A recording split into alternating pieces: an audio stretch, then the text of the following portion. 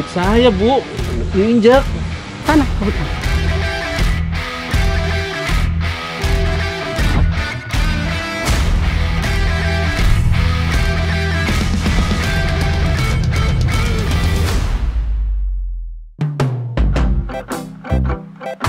Wah, hari ini kayaknya aku bakalan nganggur seharian, Lur. Tumben banget iki, ndak ada panggilan kerja. Wah, makan opo iki kalau gini? Maklum aja, Lur. Nasib kuli harian, ndak kerja yo ndak makan. Hmm. Wah, emang dasar rezeki wong soleh. Ada duit 50 ribuan di jalan nih, Lur. Mungkin ini rezeki dari Tuhan yang tidak boleh ditolak.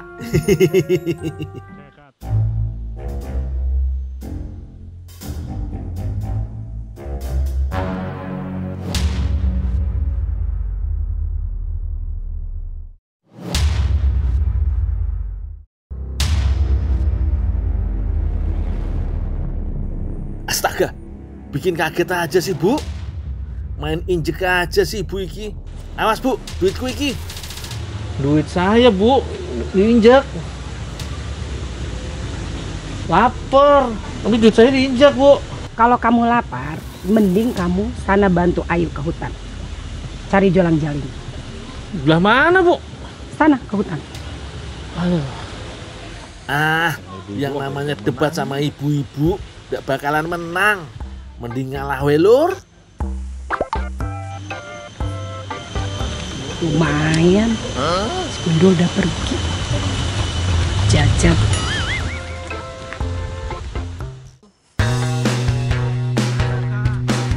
Wis, timbang ngumet bingung mau ngapain, mending bantuin Mbak Ayu panen julang jaling aja. Di desa Palembapang, kecamatan Kalianda, Lampung Selatan ini, memang masih banyak pohon julang jaling lur. Se ngendi yo pohone?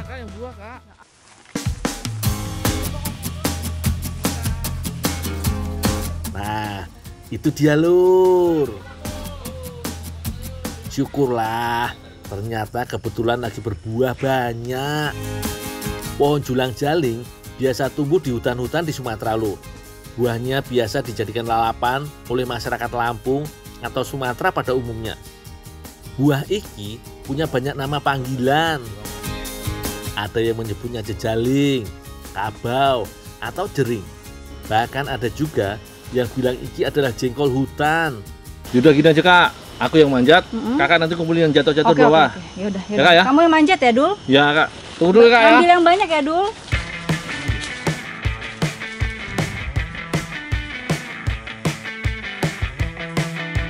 Meskipun terlihat mudah, memanjat pohon seperti ini kita harus tetap ekstra hati-hati. Apalagi batang utamanya sudah mulai berlumut dan menjadi licin.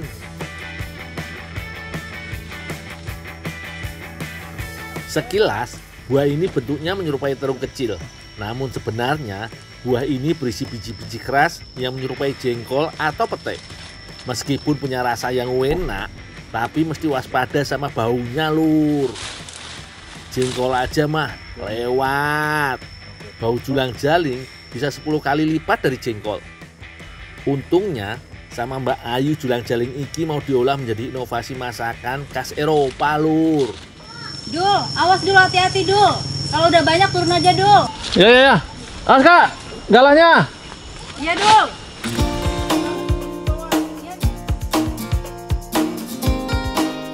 Udah banyak ya, Dul ya? Udah, yuk. Wah, lumayan Udah, banget jadi satu. Dul. Yaudah, ini Dul, sebentar, Dul. Lumayan banget nih, jadi satu aja. Udah, kita Yuk, pulang ya. Dul, yuk.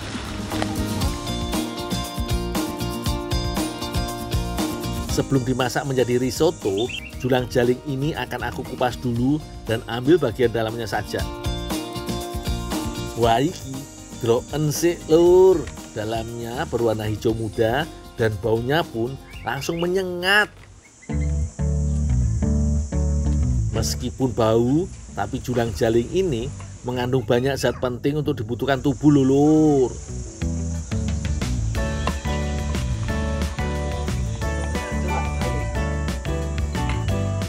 Wis, Kalau sudah diiris, langsung aja aku masukkan ke dalam air dan rendam sebentar agar aromanya sedikit hilang. Coba diinget-inget lur, kalau di daerah kalian ini namanya apa yuk? di depan rumah sudah ada Mbak Ayu dan Bu Devi yang sedang menyiapkan bahan-bahan untuk membuat risotto. Eits, jangan salah kira, ini bukan soto sing berkuah iku lho. Risotto adalah hidangan nasi campur khas Italia Utara yang menjadi ciri khas negara Eropa kui. Bahan-bahannya ndak susah kok. Nih, lihat sendiri yo. Ada beras, bumbu-bumbu seperti gula garam, lada, dan juga air kaldu dalam teko. Untuk bahan pendukungnya ada cabai merah, bawang bombay, paprika, wortel, jeruk lemon, dan lainnya.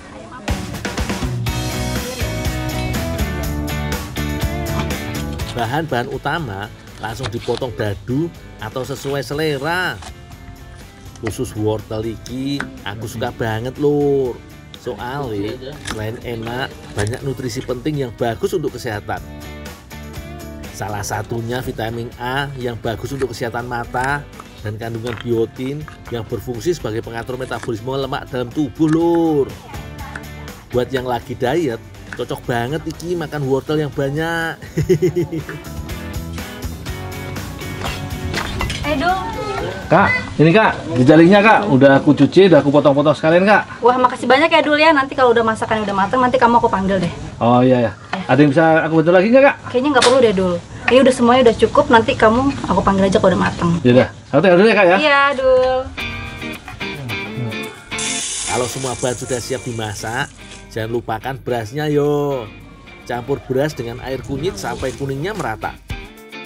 Selain warnanya cantik, aromanya juga bakal lebih sip nantinya. Bu, bahannya udah lengkap semua ya Bu ya? Sudah. Ayo udah deh, kalau mau gitu aku masak dulu ya Bu ya. Iya. Aku bawa ke dapur ya.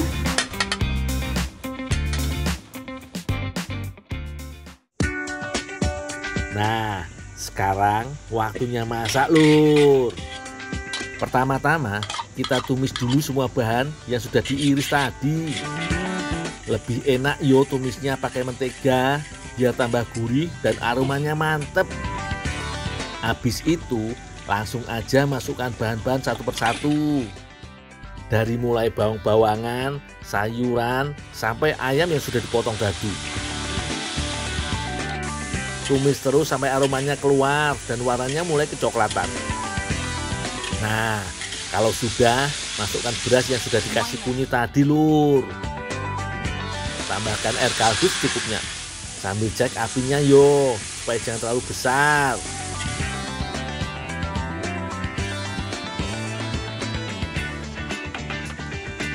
Jangan lupa masukkan julang jarinya sing wakeh wis. Tumis terus sampai merata. Setelah itu diamkan dulu sampai nasinya matang sempurna. Bentukannya bikin perut kerucukan iki. Aromane koyo manggil-manggil yo.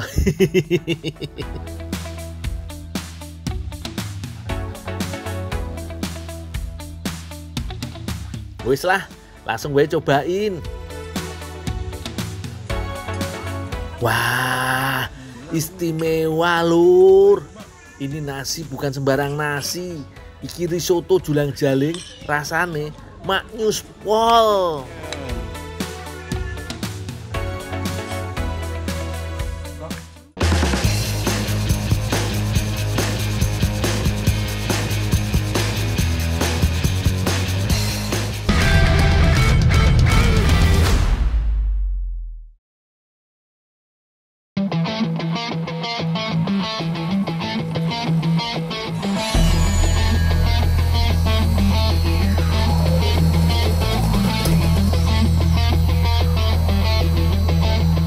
Pada ngapain lur? Yang lagi pada kerja, tetap semangat yo. Kalau kebanyakan mengeluh, nanti pekerjaannya malah terasa makin berat loh. Kalau aku sih jelas semangat terus.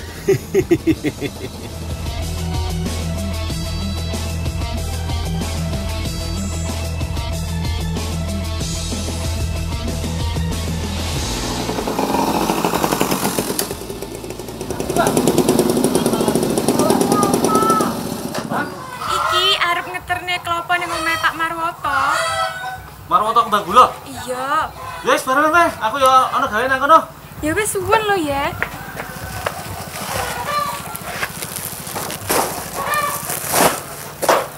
Eh, Mbak, malesan ta? Oh gak usah. Aku tak ning omah wae. Tapi mengko gawekno kembang gula ya sing wis mateng. Gawe nanti. Gawekno ning omahku to. Mau bayar ora iso lho? Ora, kok gawekno aku? Untung tujuanku dan Mbak Rahayu sama. Oh iya iya iya. Jadi sekalian tak bantu bawa kelapanya. Lumayan berat iki. Kasihan juga kalau dibawa Mbak Rahayu sendirian.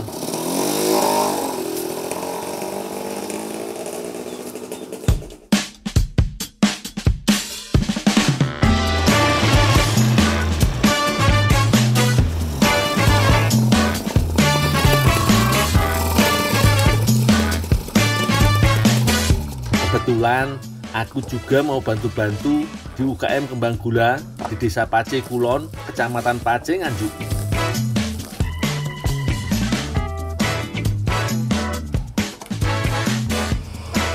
Usaha yang sudah dirintis sejak 18 tahun lalu ini membuat aneka kudapan tradisional, lur. Ada jenang, kembang gula kelapa, dan masih banyak lainnya.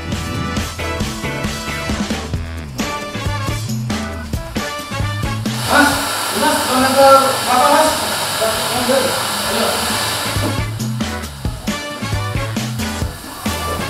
Nah, kalau yang lagi mau diproduksi ini kembang gula kelapa, lur. Oh, lucu sih, Mas. Oh iya iya. Bahan utamanya dipilih kelapa yang nggak terlalu tua atau muda. Kupas kulit ari kelapanya yo, kemudian dicuci sampai bersih.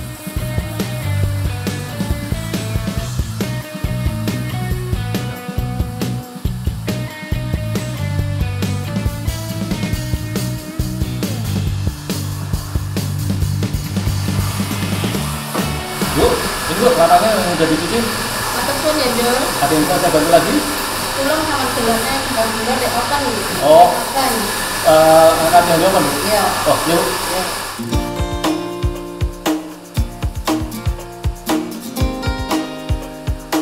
Kelapa diparut dengan alat parut khusus supaya dapat bentuk memanjang seperti iki, lur.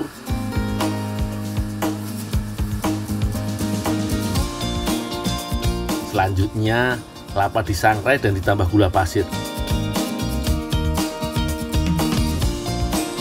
Kalau sangrai kelapa bisa sampai 15 kg, lur. Terakhir, tinggal dikasih pewarna makanan yo. Ojo lali sambil terus diaduk supaya nggak gosong.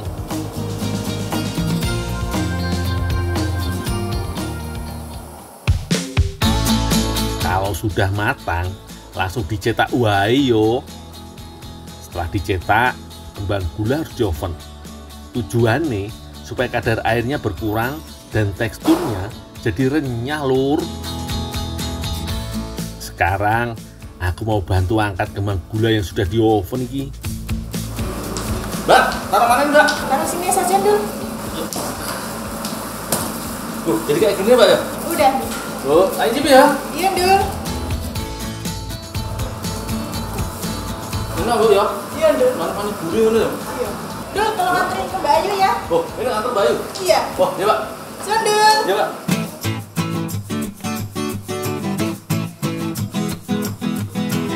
Kembang gula harus didinginkan dulu lur. Setelah itu baru dikemas.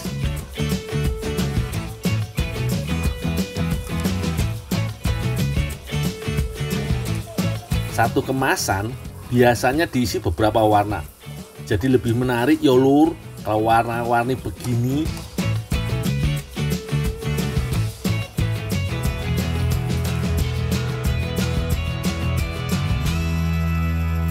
Aku mau nganter kembang gula kelapanya ke tempat Mbak Rahayu lur. Katanya mau diolah jadi cookies yang jos gandos. Wah, mantep kui. Mbak, ini Mbak kembang gula nih, Mbak. Oh iya dul, matur suwun ya. Ya, Pak. Bahan yang dipakai untuk membuat cookies antara lain kelapa, telur, susu bubuk, tepung terigu, dan mentega.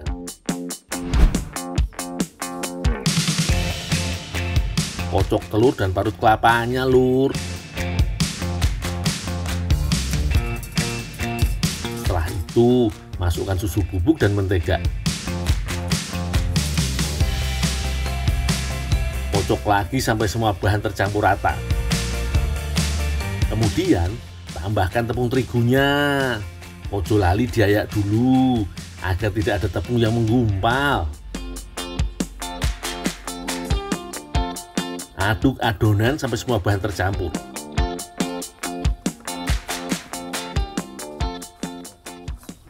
Lopon deh wis rampung derek? Oh, sampun Bu. Wis rampung kene campurne. Niki. Pun ya. Nggih. Sekarang, tambahkan parutan kelapa ke dalam adonan. Biar tambah menarik tampilan nih, tambahkan pewarna makanan yo. Aduk lagi sampai warnanya merata ke seluruh bagian adonan.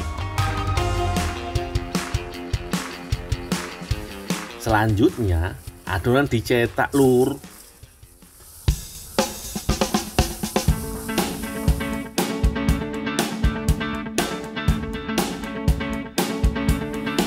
Bentuk adonan bulat-bulat dan tutup dengan remahan kembang gula kelapa. Kemudian letakkan di loyang dan tekan-tekan sampai rata. Oh iya, loyangnya dilapisi daun pisang. Fungsi ini supaya cookiesnya nggak lengket dan ada aroma harum khas daun pisang. Yuk semangat yuk. Cetak cookies kembang gula kelapa sampai habis adonannya.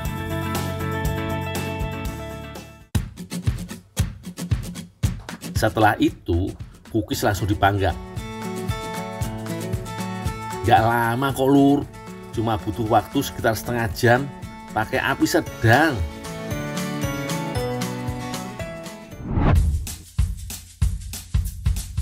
Ini dia hasilnya lur.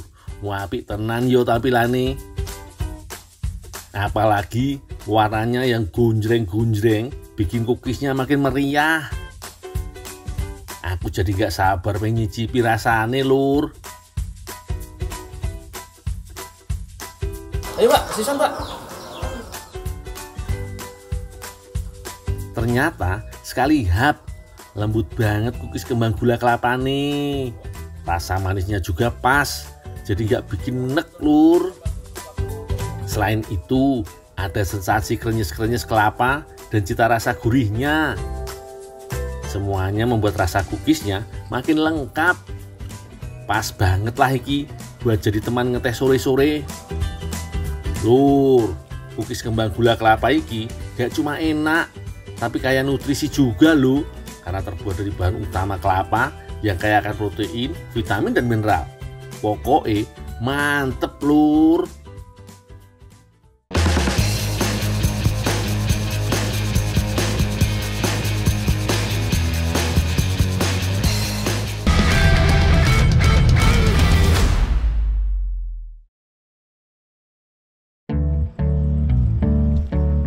Daerah Tawangmangu memang menjadi salah satu penyuplai sayur dan buah-buahan di sekitar Jawa. Gak heran toh, setiap hari pasti ada yang panen. Tuh lihat, sawinya seger-seger semua toh. Hasil buminya memang istimewa yo lur. Sekalian tak angkutin, biar langsung diantar ke pasar-pasar. Wis Dul, Pak Dul, tak terkesi ya. Banget banget. Dul, tolong bantuin panen bayam. Oh panen pak. Iya, ya. Oh, iya, iya. Panen bayam ini. Beres sawi, ada lagi panen bayam. Nah, ini bayamnya lain lur, yaitu bayam raja alias bayam petik. Berbeda dengan bayam cabut yang relatif daunnya kecil, sedangkan bayam raja ukuran daunnya besar-besar. Sesuai dengan jenisnya, bayam raja disebut juga bayam petik. Karena saat dipanen, menggunakan alat yang disebut ani-ani atau pisau kecil. Dan alat ini biasa digunakan untuk panen padi, Lur. Dari mulai awal tanam, kira-kira membutuhkan waktu satu setengah bulan sampai bisa dipanen. Setelah itu, setiap minggunya bayam dapat dipanen kembali. Dul, besok orang, Dul. Udah, Pak. Oh ya, nanti numpukin nanti cuci. Dan Oh, iya, iya. pasar. Ya, Pak.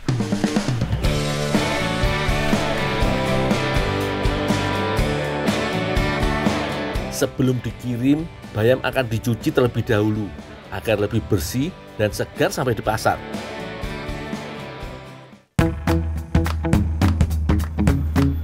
Waduh lur, emang sih bayamnya ringan, tapi kalau udah sekarung gini lumayan berat juga yo.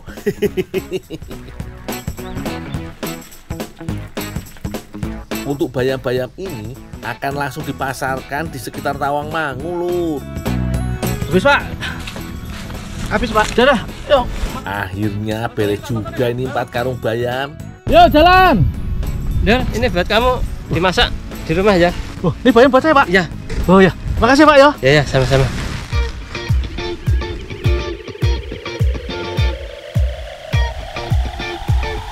Dul, kamu tidur. Eh, panen bayam kan? Oh ya.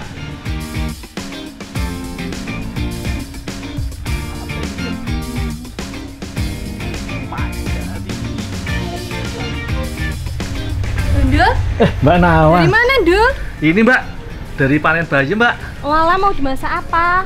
Yuk masak bayam tau mbak. Mau saya masak kangkung. Sini mau nggak tak masakin sesuatu? Wah, boleh tuh mbak. Kangkung, eh bayam dimasak. Yang istimewa. Iya. Sekarang belanja bahannya dulu ya. Oh, ya ya. Yuk. Rezeki emang gak ke mana. Mau pulang masak sayur, malah ketemu Mbak Nawang. Manuang. Tumbas, Pak. Nggih, Mbak. Pak, beli minyak, Oke. telur. Wadah Mbak, dah ngambilkan Mbak. Oke. Dihitung ya, Pak. Nggih. 35 Mbak. Tunggu segangsal. Nggih. Oke. Bentar, kok aku melihat gelagat aneh Mbak Nawang yo. Perasaanku makin gak enak ini. Dul, mau duit enggak? Ada sih mbak. Kurang berapa sih mbak? Hmm, ada cuma segini mbak. Pinjam. Eh, laki-laki. Iya. Pinjam ya, Dul? Iya iya mbak. Beneran lo. Iya. Oke, matur suwun. Iya. Tapi nanti masain saya enak loh. Siap. Walah, ini jadi rezeki apa enggak yo? Tapi gak apa-apa. Yang penting dibuatin makanan yang enak. Monggo, Pak. Monggo.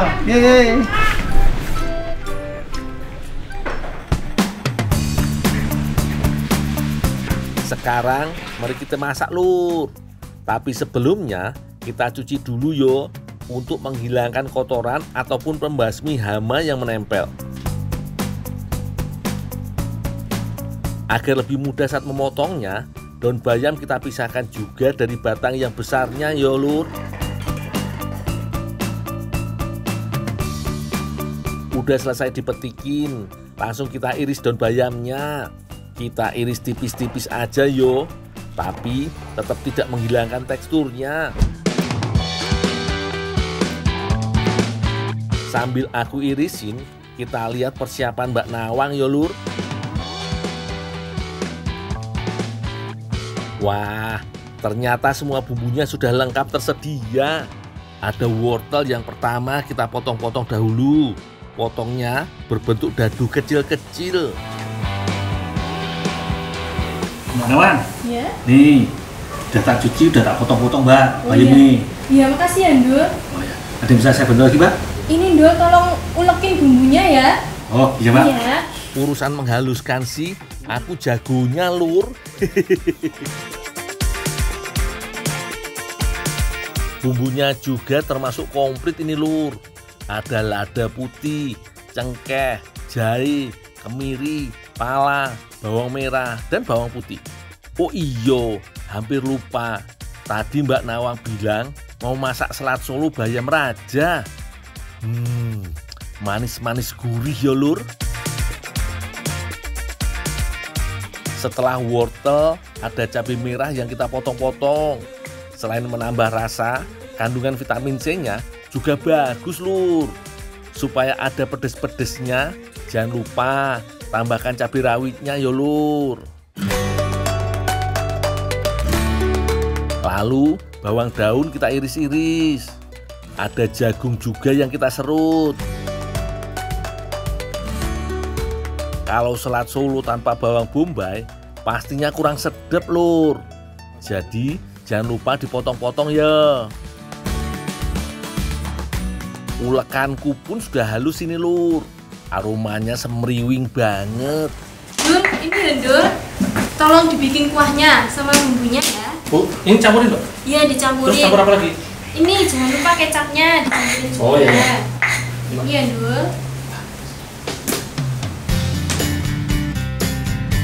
Biar cepet, tak bantuin masak kuahnya. Soalnya udah nggak sabar lur. Perutku udah kruyuk-kruyuk, lapar.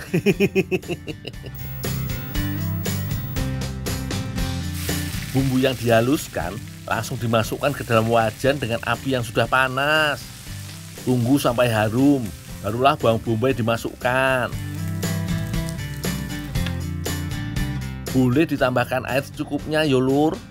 Bumbu penyedap rasa pun jangan lupa dimasukkan yo lur. Tambahkan juga sedikit gula pasir. Nah, yang terakhir kita masukkan kecapnya yo. Supaya lebih mengental, tambahkan sedikit tepung maizena yo. Tinggal ditunggu sampai mengental. Nah, Mbak Nawang sudah mulai membuat isiannya lur, yaitu lumpia kulit tahu. Pertama-tama kita iris bawang merah dan bawang putih. Sekarang tinggal diadon. Masukkan bayam raja terlebih dahulu, lalu jagung, wortel, cabai, bawang daun, dan bawang merah serta bawang putih. Agar merekat, kita tambahkan telur ayam 3 butir dan juga tepung terigu. Setelah itu, barulah kita aduk sampai semua tercampur merata.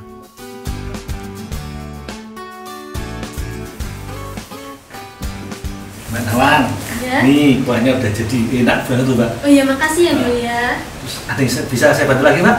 Udah Dul, ini aku mau mau bikin ininya isiannya dulu. Nanti kalau matang kabarin dulu Mbak. Oke siap. Ya, tinggal dulu Mbak ya. Iya Dul.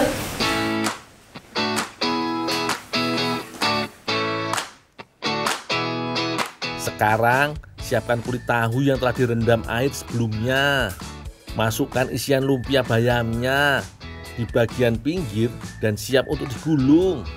Mantep toh. Sekarang tinggal kita matangkan lumpianya dengan cara dikukus lur. Kita kukus kurang lebih 20 menit lamanya sampai isiannya benar-benar mateng yo. Kelihatan toh warna daun pisangnya sudah mulai berubah, tinggal diangkat lur.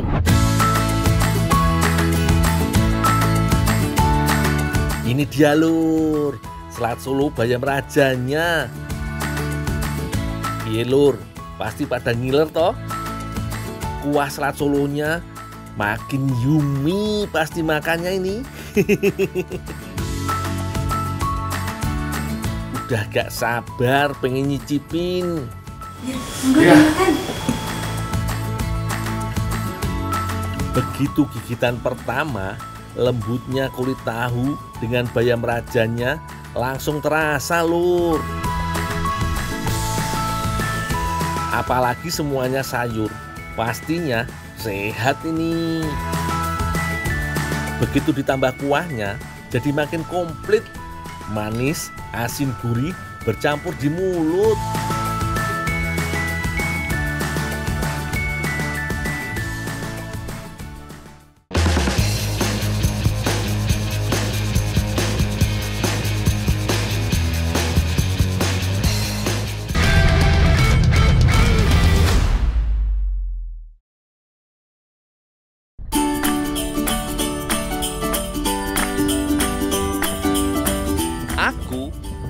Di Desa Bulak, Kecamatan Rawasari, Kendal, Jawa Tengah. Mas Amir mengajakku panen kue. Gitu, oke. Kene Mas. Mas, aku tamene saiki Mas. Yo, aku kene ya. Ya.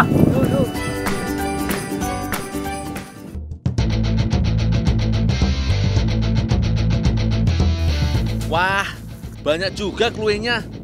Tak panjat langsung wae kalau gitu. Buah yang masih sekerabat dengan nangka ini asalnya dari Papua Nugini. Klue banyak ditemukan di wilayah tropis seperti Indonesia yo. Memanjat pohon seperti ini juga nggak mudah loh. Aku harus memilih ranting yang kuat untuk pajangan kaki. Nah, kalau ada angin kencang lewat, yo harus hati-hati. Sekilas, bentuk buahnya juga mirip sukun. Bedanya, klue punya kulit yang keras dengan duri agak lunak. Wah, lumayan nih. Bisa terkumpul 30 buah. Biasanya, klue dimasak sayur seperti sayur lodeh. Tapi di desa ini, klue nggak cuma jadi sayur loh. Yang akan aku antar ini katanya mau dibuat abon. Seperti apa yo hasilnya? Jadi penasaran aku. Yaudah ini tak masak dulu. Ya. Eh, mas Masnya cari lagi yo. Ya dul. Kluih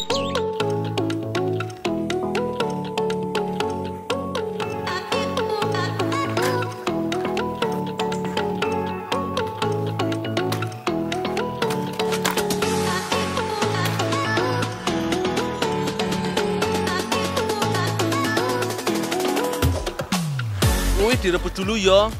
Tunggu kira-kira satu jam atau kluih sudah setengah matang baru diangkat. Kluih ini banyak gizinya yo. Salah satunya kayak karbohidrat. Gak heran yo kalau makan kluih bikin kenyang.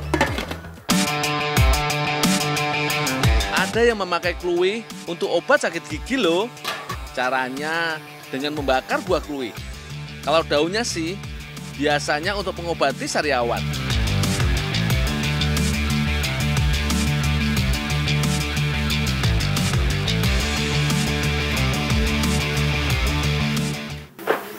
Bu, ini Bu, kuenya Bu yang udah direbus Bu. Oh ya, taruh sini dulu. Ada yang bisa saya bantu lagi Bu? Ini kasih sama Mbak Fiona dulu.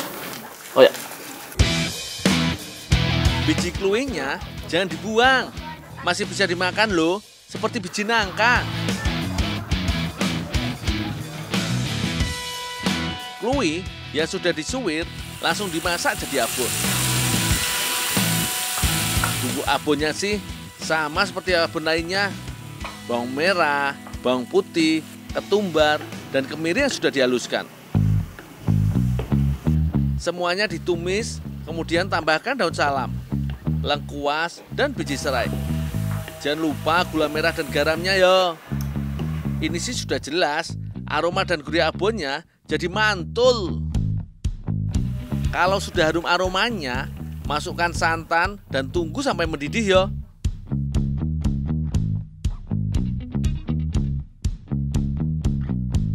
Teh, ini keluarnya. Oh iya, makasih. Ya.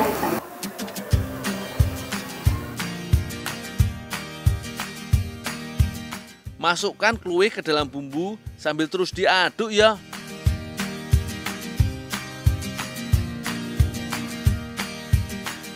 Aduk terus sampai bumbu meresap dan kluih mulai coklat layu.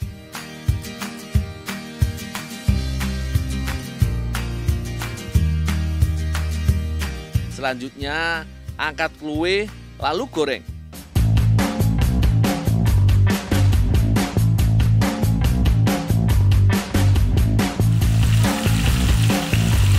Nah, saat digoreng ini, sekalian mengeringkan abonnya.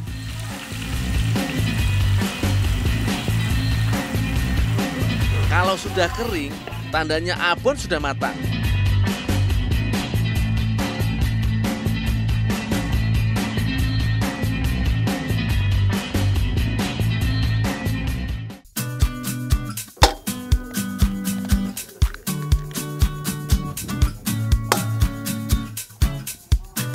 Mbak Vio sedang menyiapkan kulit semar mendem. Telur dan garam dicampur sampai rata yo.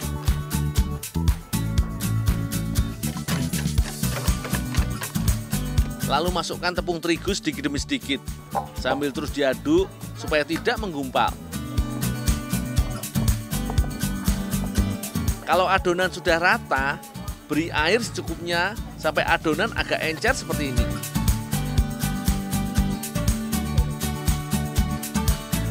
Anjar membuat pewarna untuk kulitnya. Pakai daun suji aja ya. Daun suji bukan hanya dikenal sebagai pewarna alami warna hijau. Kandungannya di dalamnya juga bisa membantu menurunkan kolesterol.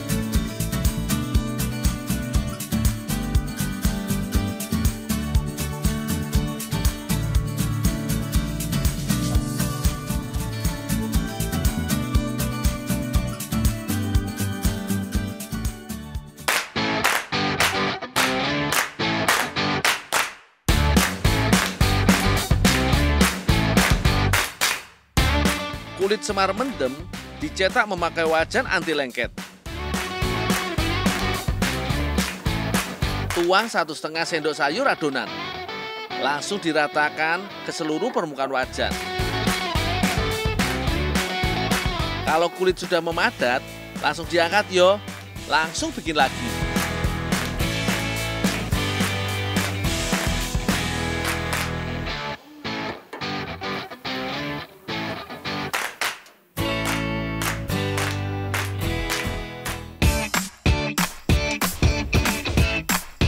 Mbak Vio, ini abon kuenya udah jadi mbak. Oh iya, makasih Ndul. Oh, ya mbak. Sebenarnya, semar mendem makanan tradisional khas Yogyakarta yo. Tapi sekarang banyak ditemukan juga di daerah Jawa Tengah atau Jawa Barat. Nah, kira-kira semar mendem yang dibuat Mbak Vio, apa bisa bikin kita mendem kenakan?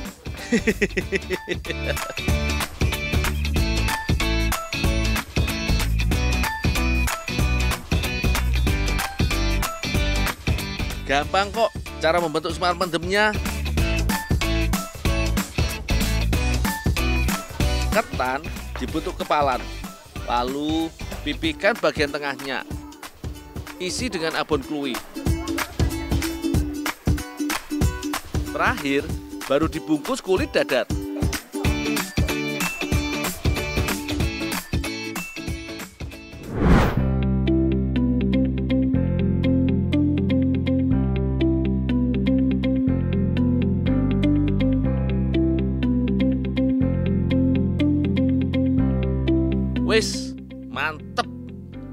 Kayaknya enak nih. Monggo Pak, Bu, kita icip semar mendemnya.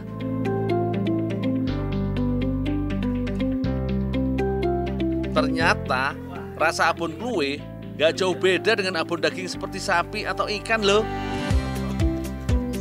Kulit dadar bikinan Mbak Vio juga enak, empuk dan lembut saat dikunyah. Semar mendem abon klue sukses bikin aku mendem keenakan.